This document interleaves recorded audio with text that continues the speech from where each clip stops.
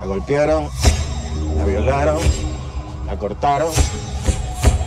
Muerte a las mujeres como ella. La mataron prácticamente frente a mí. Lo único que quiero es saber quién fue. Yo nunca estuve tan cerca de la escena de un crimen. Y es una sensación extraña. No lo puedo dejar pasar. No fue una casualidad que la mataran frente a la facultad. El formol, la nota, el colgante que tenía puesto, todo formó parte de un plan. Todos sacrificios. Víctimas inocentes que deben ser inmoladas para beneficio de la humanidad. La víctima puede ser cualquiera, la víctima puede ser cualquiera. Yo creo que él la mató. ¿Qué te pasa con el pibe? ¿Es algo personal, no?